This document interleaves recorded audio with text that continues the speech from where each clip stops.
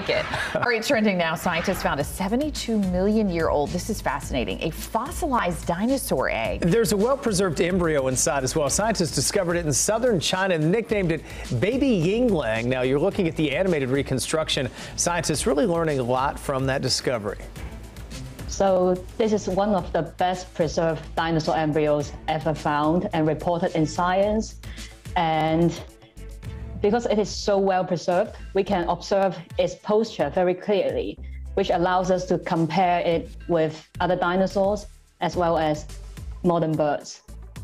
How cool is that? Uh, the discovery, by the way, getting a lot of buzz on social media. People say it reminds them of Jurassic Park, of course, a movie that featured genetically engineered dinosaur clones, but these scientists are not trying to make that a reality. But I love studying dinosaurs of. growing up, so seeing that is so cool. It's cool. We, we have a picture of it if you go look on our website, and you can see that it's actually the actual fossilized version of it. That's like the sort of the animation yeah. version. I went to the really traveling cool. dinosaur exhibit years ago. Remember when they had oh, those yes, huge dinosaurs yeah. come out? It was awesome. Oh, we're at the Orlando Science Well, I was back in Indiana at the time, oh, 15 years days. ago, way back, yeah.